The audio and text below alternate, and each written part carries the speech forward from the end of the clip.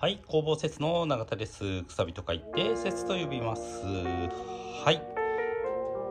今回はね、黒柿、クジャク目の紹介をしていきたいんですけど、うん、まあ、クジャク目というよりも、まあ、黒柿の紹介ですね。はい。まあ、この辺の黒柿と、まあ、ちょこっと一部ね、クジャク目が、う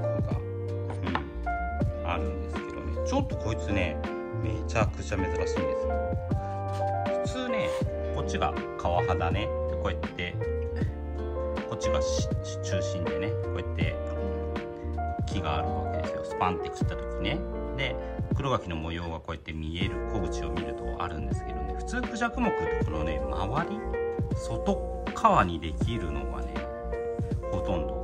なかなか全部っていうのはもうほとんどなくってクジャク目っていうのはごくごく一部って言ってるのでこの外側白田のねここにできるものがほとんどなんですけどこいつはね違うんですよこっちが外ねで島があって中にいるんですよクジャクモクがうん。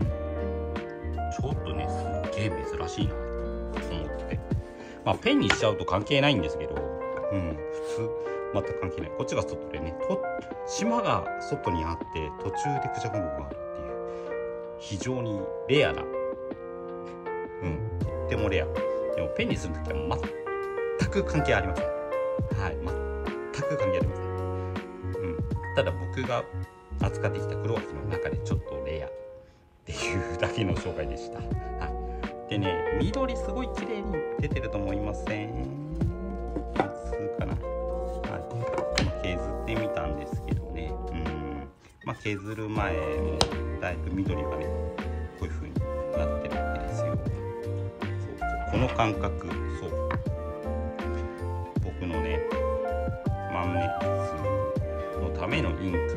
クほぼ節インそう節インクって言って作ってるんですけども、うん、はい。えー、っと万年筆とかガラスペンとかねつけペンとかに使うインクです。はい。トノリームさん。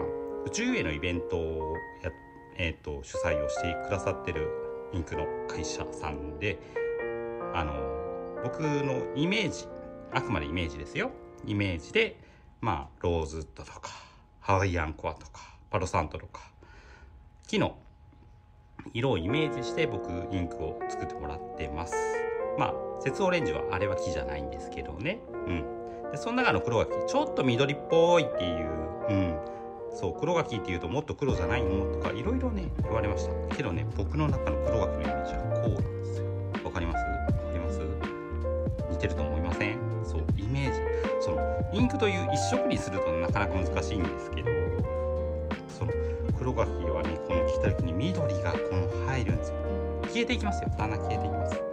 緑が残るってことはまずほぼほぼ不可能なんですけどもその切った時のその黒柿の印象っていうのを僕インクにしたんですよ。うん。ね。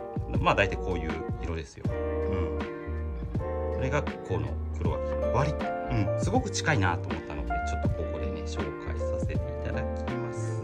はい。で節インクねどこで買うのベースさんで一応売ってます一応一応売ってますはいでもねほとんど僕売ってないんですよね。売ってないのに何っていうとねノベリティなんですよ。コボセスの万年筆を買っていただくとインクサービスでつけます。でラメ入りとラメなしがあるんですけどラメ入りのやつはなかなか売れなくってね、うん、もう僕自身がそのなんだろうつけペンとかガラスペンとか作ってないのでねインクを消費する作品って万年筆しかなくって、うん、全然 まあ僕自身もほとんど宣伝してないからいけないんですけどインクなかなか売れなくってね、うん、はい。まあそんな感じで、ね、ノベリティでマネスを買ってくれた方につけるっていう形ですね。はい。そんな感じでインクの消費をしておりますがまたよければインクの方お願いいたします。はい。今回黒柿ね。